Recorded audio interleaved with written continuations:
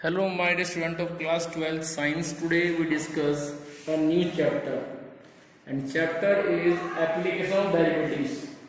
First volume में ये last chapter है एप्लीकेशन ऑफ़ डेरिवेटिव जो हम डिस्कस करेंगे आज इसमें ध्यान देने वाली बात ये है कि हम डेरिवेटिव्स मींस सिंगल डेरिवेटिव फिर डबल डेरिवेटिव फिर triple derivative means first order derivative like dx upon dy second order derivative like d2x upon d, uh, dy square and third order dqy over dx cube ठीक है तो हम इस तरह से इनको यहाँ पे यूज़ करेंगे जो डेरिवेटिव्स हैं चाहे वो सिंगल डेरिवेटिव हो डबल डेरिवेटिव हो उन डेरिवेटिव्स को हम यहाँ पे यूज़ करेंगे चैप्टर का नाम है application of derivatives means derivatives को हम रियल लाइफ से कैसे जोड़ते हैं,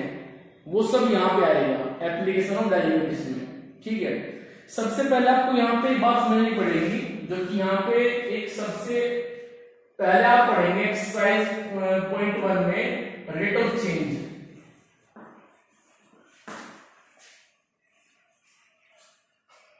rate of change कि चेंज किस रेट के हिसाब से हो रहा है? ठीक है? चेंज किसके अकॉर्डिंग हो रहा है? वो आप समझेंगे। जैसे जब आप डिफ्रेंशिएट करते हैं y को विद रेस्पेक्ट टू x और निकालते हैं dy ओवर dx सपोज़ ऐसे होता है, y equals to X square plus five X plus six और वहाँ से आप निकालते हैं डी dy अपॉन dx तो सबसे पहले यहाँ पर ध्यान देने वाली बात ये होगी कि dy अपॉन dx में कौन डिपेंडेंट है और कौन इंडिपेंडेंट है।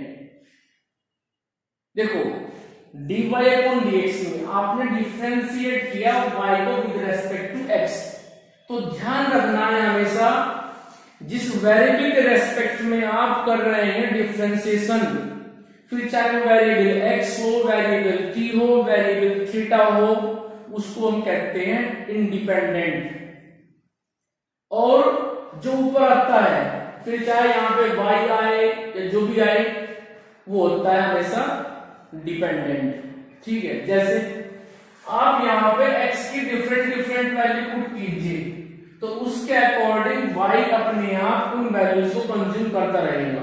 X जब वन है तो y कुछ यहाँ मिल जाएगा आपको। जब x टू है तो यहाँ पे कुछ मिल जाएगा आपको, ठीक है? तो ध्यान रखना है कि जो भी आपने तक डिफरेंशिएशन किए हैं, उसमें जिस फ़ंक्शन को आप डिफरेंशिएट कर रहे हो, अभी हम कर रहे हैं फ़ंक्शन y को डिफरेंशिएट तो y यहाँ पे डिपेंडेंट है। और जिसके रेस्पेक्ट में कर रहे हो means with respect to x और विद रेस्पेक्ट टू थीटा तो वो हो जाएगा वहाँ पे इंडिपेंडेंट ठीक है? ये बात अपने दिमाग में बैठा लेना कि जब किसी फ़ंक्शन को आप डिफ्रेंशिएट कर रहे हो तो वो फ़ंक्शन अपने आप में डिपेंडेंट है। और जिसके रेस्पेक्ट में कर रहे हो, वो अपने आप में इंडिपेंडेंट है। क्लियर तो यहाँ पे ध्यान रखना है, x वो इंडिपेंडेंट है। और y वो डिपेंडेंट है। ठीक है? जैसे आप निकालते हो dx upon D theta theta is independent but x is dependent आप निकाल रहे हो dy upon T t is independent but y is dependent तो ध्यान रखना है डेरिवेटिव्स में निकालते समय डेरिवेटिव्स आप जिसके रेस्पेक्ट में डिफ्रेंशिएट कर रहे हो, वो तो वहाँ पे इंडिपेंडेंट है। और जिस फ़ंक्शन को लेके चले हो, जिसको डिफ्रेंशिएट कर रहे हो, वो वहाँ पे डिपेंडेंट है। ठीक है? तो जो dy अपॉन dx आपने पढ़ाया, आजकल डी टी अपॉन dx पढ़ाया, आपने जो भी पढ़ा है, पहले उन डेरिवेटिव्स का मतलब समझिए कि वो होता क्या है। ठीक है? समझाया कुछ? अब सुनो एक बात को dy अपॉन dx, ये पॉजिटिव होगा, लेकिन तब होगा जब x इंक्रीज हो रहा है तो साथ में y भी इंक्रीज हो रहा है। या फिर x डिक्रीज हो रहा है, साथ में y भी डिक्रीज हो रहा है। लेकिन ये निगेटिव तब होगा जब x इंक्रीज हो जाए और y डिक्रीज हो जाए। या y इंक्रीज हो जाए, x डिक्रीज हो जाए। ठीक है? जब x और y सेम साइड में मूवमेंट करेंगे, फिर चाहे वो इंक्रीजिंग वे में हो या डिक्रीजिंग वे में हो, तब तब dy अपॉन dx की वैल्यू पॉजिटिव रहेगी। लेकिन जब ये अपोजिट मूवमेंट करेंगे कि एक बढ़ रहा है, एक घट रहा है तो उस केस में ये निगेटिव हो जाएँगे। ठीक है? ध्यान रखना आपको ये बात। ये बात आपके एनसीआरटी में दी हुई है। जब आप उन को ध्यान से पढ़ोगे एनसीआरटी की जो थ्योरी होती है चैप्टर के स्टार्टिंग की, उसको जरा ध्यान से पढ़ा करो। ठीक है? चलिए खैर तो इस तरह से ये मेरे पास में हुई डेरिवेटिव्स के बारे में बात। ठीक है? इस चैप्टर में रेट ऑफ़ चेंज पढ़ेंगे। रेट ऑफ़ चेंज मींस जैसे कह देंगे dx अपॉन dt यदि टाइम के रेस्पेक्ट में हो रहा है यदि चेंज हो रहा है with respect to second means time तो हम लिखेंगे dx अपॉन dt ध्यान देने वाली बात यहाँ पे यही होगी कि हम ये देखेंगे कि जो चेंज हो रहा है मींस जो रेट ऑफ़ चेंज हो रहा है, वो किसके रेस्पेक्ट में हो रहा है? वो टाइम के रेस्पेक्ट में हो रहा है, या वॉल्यूम के रेस्पेक्ट में हो रहा है, या स्पीड के लिए हो रहा है, जिसके लिए भी हो रहा है, वो हमेशा नीचे आएगा। मींस उसके रेस्पेक्ट वाला ही डेरिवेटिव वहाँ पे आएगा। रेट ऑफ़ चेंज टाइम के रिगार्डिंग हो रहा है तो अपॉन में dt आएगा। यदि रेट ऑफ़ चेंज वॉल्यूम के रिगार्डिंग हो रहा है तो अपॉन में वॉल्यूम v आएगा। ठीक है? ऐसे होता है। वैसे आप धीरे धीरे सीख जाओगे इस चैप्टर में जब प्रॉब्लम को डिस्कस करेंगे। ठीक है? चलिए। डिस्कस करते हैं एक्सरसाइज 6.1 को। एक्सरसाइज 6.1 पेज नंबर है। 197 ये पेज नंबर है। और क्वेश्चन नंबर फटाफट आप वन देखिए। वो कह रहे हैं find the rate of change सुनना बड़े ध्यान से। Find rate of change of the area means a with respect to its radius r यानी कि हमें रेट ऑफ़ चेंज निकालना है एरिया का with respect to radius r it means हमें d a upon d r निकालना है। बस ये बात सोचनी है आपको। उन्होंने कहा है find rate of change of the area with respect to radius means r जिसके रेस्पेक्ट में है, वो नीचे आएगा। क्योंकि आप जब लिखते हो ना, जब करते हो डिफरेंशिएशन आप लिखते हैं differentiating with respect to x तो डिवाइड बाई डीएक्स आता है, ठीक है? तो यहाँ पे कह रहे हैं find rate of change of the area with respect to radius it means clear हमें इंडिकेशन मिल गया कि हमें d a upon d r निकालना है। चलिए, फिर आगे बोल रहे हैं व्हेन फ़र्स्ट पार्ट में दिया हुआ है व्हेन रेडियस इज़ 3 सेकंड में दिया है व्हेन रेडियस इज़ 4 लेकिन तो हमें रेट ऑफ़ चेंज निकालना है रेडियस के रिगार्डिंग कि किसका एरिया है? क्वेश्चन में वो कह रहे हैं rate of change of the area of a circle वो सर्कल के रिगार्डिंग बात कर रहे हैं आपसे वो कह रहे हैं कि सर्कल का जो एरिया है, उसका रेट ऑफ़ चेंज निकालिए विद रेस्पेक्ट टू रेडियस और तब तब निकालिए जब रेडियस हो चुकी है तीन और जब हो चुकी है फोर ठीक है समझना है चलिए। Let r with radius of circle. ये मान लेता हूँ कि सर्कल जो रेडियस है, वो आर है, ठीक है? सर्कल ऐसे आप बनाओगे। और ये हो जाएगा इसकी रेडियस आर सो एरिया वो होता है पाई आर स्क्वायर आप जानते हैं। अब हमें तो रेट ऑफ़ चेंज निकालना है एरिया का विद रेस्पेक्ट टू रेडियस तो हम डिफ्रेंशिएट कर देंगे इसको with respect to r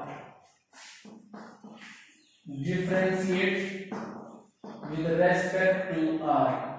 So we have dA upon dr equals to 2 pi r.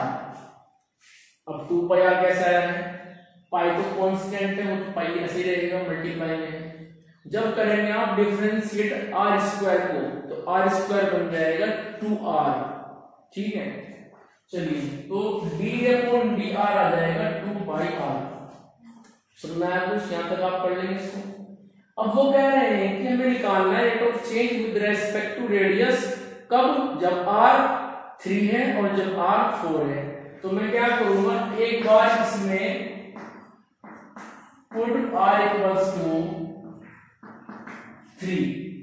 तो तब मेरे पास में d a upon d r आ जाएगा। Two pi into three it means six pi second part में चलिए। सेकेंड पार्ट में r equals to four तो d a upon d r मेरे पास आ जाएगा। Two pi into four result is eight pi तो इस तरह से क्वेश्चन नंबर वन पूरा हो गया। चलिए आगे।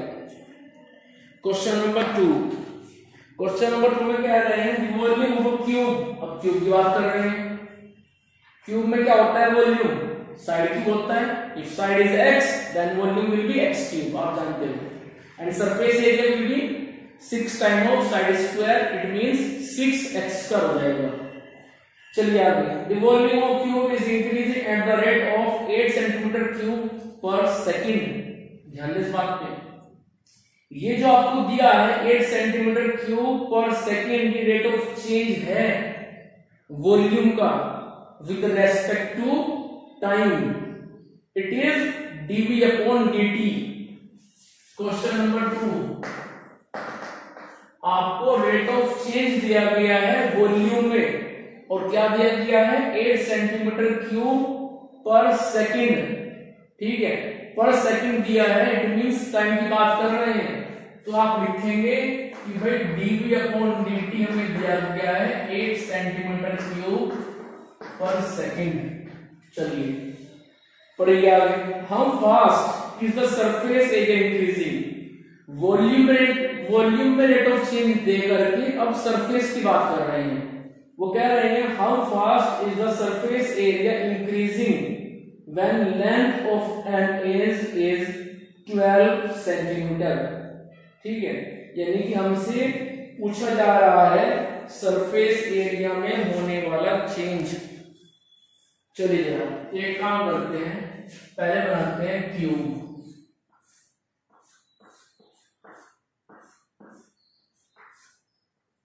मान लेता हूँ क्यू की साइड एक्स है। जब side let this side of cube is x then volume will be x cube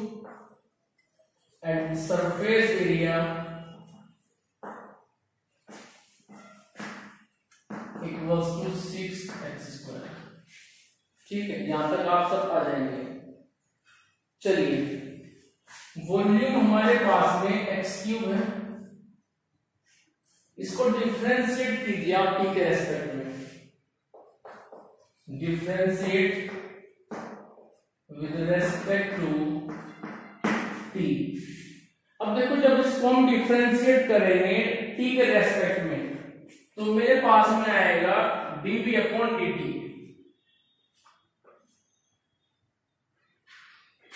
मेरे पास में आएगा डीवी अपॉन डी टी क्योंकि हम डिफ्रेंशिएट करेंगे इसको टी के रेस्पेक्ट में. Dv upon t equals to three x square और फिर करेंगे हम डिफ्रेंशिएट एक्स को, क्योंकि हम तो डिफ्रेंशिएट कर रहे हैं टी के लिए। आप सोच रहे होंगे कि सर वी एक्स क्यू में लेके चले हैं?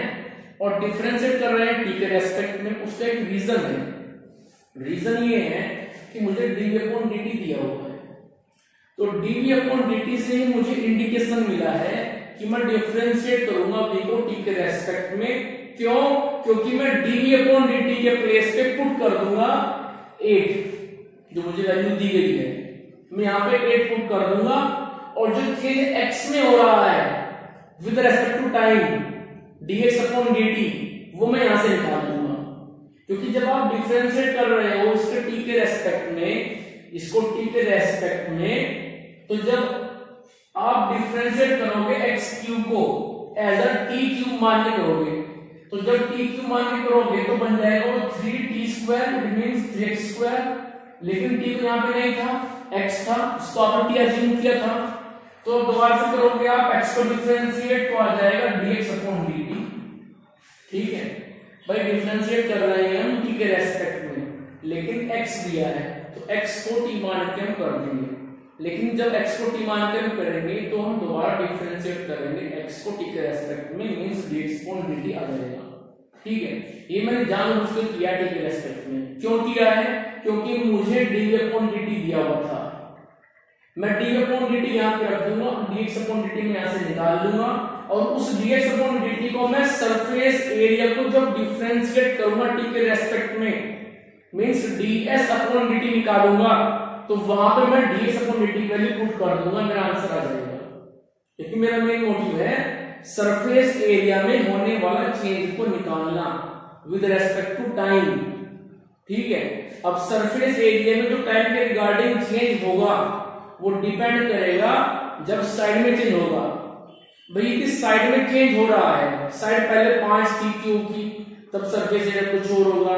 साइड दस हो जाएगी, तब तो तब कुछ और होगा। तो यदि रेट ऑफ़ चेंज साइड में हो रहा है, तभी तो सरफेस एरिया में होगा, तभी तो उसके वॉल्यूम में होगा। अब जिसके डायमेंशन में चेंज नहीं होगा तो सरफेस एरिया में चेंज कैसे हो जाएगा? और वॉल्यूम चेंज कैसे हो जाएगा? नहीं होगा। तो मैं यहाँ पे अब डी अपॉन डी की वैल्यू पुट कर दूँगा विच इज़ 8 और ये 3x square dx upon dt को आप ऐसे रखो क्योंकि तो हमें आगे यूज़ करना है। तो इस तरह से यहाँ से dx अपॉन dt निकाल लीजिए। कितना आएगा? ये आ जाएगा एट अपॉन 3x स्क्वायर। ठीक है? इस तरह से मेरे पास में dx अपॉन dt आ चुका है eight upon three x square. अब बात करता हूँ सरफेस एरिया की। सरफेस एरिया होता है six time of side square cube का। अब इसको डिफरेंशिएट करो आप विद रेस्पेक्ट टू टी और हम निकालेंगे d s upon dt equals to ये बन जाएगा 12x फिर करोगे आप x को तो dx अपॉन dt आएगा। चलिए आगे तो ये मेरे पास आ चुका है d h upon d t equals to twelve x d x upon d t अब सुनो ध्यान से मेरे पास d x upon d t पहले भी है। कितना है? Eight upon three x square रखो जाए उसको। So d x upon d t equals to twelve x into eight upon three x square three four जा तो ये मेरे पास आ जाएगा four eight thirty two upon x ठीक है? इस तरह से मेरे पास में सरफेस एरिया में टाइम के साथ होने वाला चेंज आ चुका है। Thirty two upon x but वो क्वेश्चन में कह रहे हैं कि जब side length of an edge last में यह क्वेश्चन में जब लेंथ ऑफ़ एज 12 सेंटीमीटर हो जाएगी तो तब वो चेंज कहाँ तक पहुँच जाएगा? क्वेश्चन ये है। इट मींस आपको लेंथ ऑफ़ साइड वो दिए 12 s upon d t equals to 32 upon x equals to 32 upon 12 two जा काट दीजिए फोर थ्री जा फोर एट जा eight upon three it is your required answer चलिए आगे इसके बाद देखिए आप यहाँ पे question number three question number three में कह रहे हैं the radius of a circle एक सर्कल है जिसकी रेडियस की बात कर रहे हैं is increasing uniformly uniformly means without acceleration ठीक है? जो चेंज हो रहा है, बिल्कुल फिक्स हो रहा है। ऐसा नहीं है कि कभी कम, कभी ज़्यादा ऐसा हो रहा है। वो कह रहे हैं the radius of a circle is increasing uniformly at the rate of three centimetre per second circle की रेडियस में चेंज हो रहा है और कैसे हो रहा है? Three centimetre per second second represent the time. So we can write d r upon d t equals to three centimetre per second it is question number three ये मेरे पास सर्कल है और ये हो होगी इसकी रेडियस आर चलिए आगे क्या कह रहे हैं? फिर वो कह रहे हैं find the rate at which the area of circle is increasing when radius is 10 centimetre यानी कि अब वो बात कर रहे हैं रेट की रिगार्डिंग टू द एरिया अब सुनो सर्कल का एरिया क्या होता है? वो होता है पाई आर स्क्वायर अब देखो d r upon d t को मुझे यूज़ करना है। जब दिया है तो यूज़ करना है तो मैं यहाँ पे एरिया को, क्योंकि हमें निकालना है rate of change of area तो मैं यहाँ पे इस इक्वेशन को जो रिप्रेजेंट कर रही है अभी सर्कल के एरिया को डिफ्रेंशिएट करूँगा विद रेस्पेक्ट टू टाइम और ऐसा करने से मेरे पास में एरिया में होने वाला चेंज आ जाएगा विद रेस्पेक्ट टू टाइम जिसकी वो बात कर रहे हैं। ठीक है? चलिए। तो मैं इसको डिफ्रेंशिएट करूँगा अभी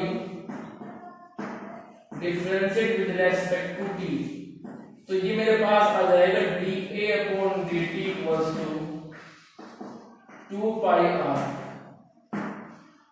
ठीक है? आर स्क्वायर को एज अ टी मान लेंगे तो ये जाएगा टू पाई आर और फिर करेंगे आर को दोबारा से तो ये आ जाएगा d r upon d t चलिए तो d a upon d t ये मेरे पास रहेगा ऐसे ही।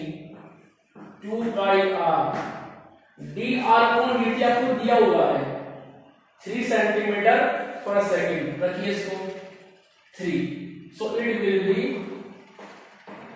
six pi r लेकिन हमें तो rate of change of area तब निकालना है जब हमारे पास में जो रेडियस है, वो 10 सेंटीमीटर हो जाएगी।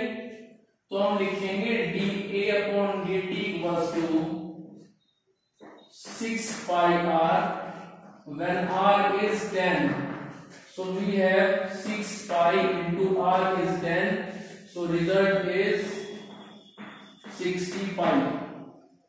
और यही आपका रिक्वायर्ड आंसर है। ठीक है? तो इस तरह से एक क्वेश्चन हम कर रहे हैं। क्वेश्चन तीन तक पूरे हो चुके हैं। ठीक है? देखो क्वेश्चन बहुत ही सिंपल है हो सकता हो कि आपको थोड़ा टिपिकल लग रहे हो बट ऐसा नहीं है।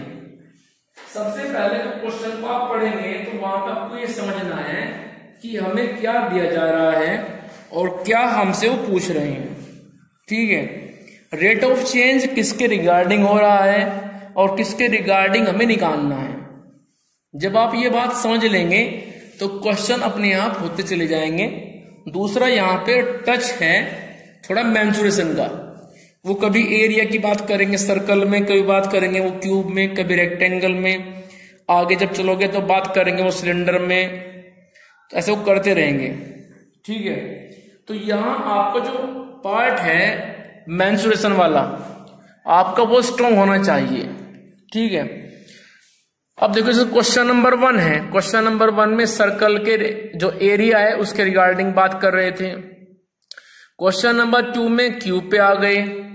उसके बाद में क्वेश्चन नंबर थ्री पे वापस सर्कल में आ गए कि सर्कल में जो रेडियस है, उसमें चेंज दिया है टाइम के regarding three centimetre per second और पूछ रहे हैं कि भाई जब रेडियस में चेंज हो रहा है थ्री सेंटीमीटर पर सेकंड के हिसाब से तो उसके एरिया में टाइम के रिगार्डिंग चेंज कितना होगा?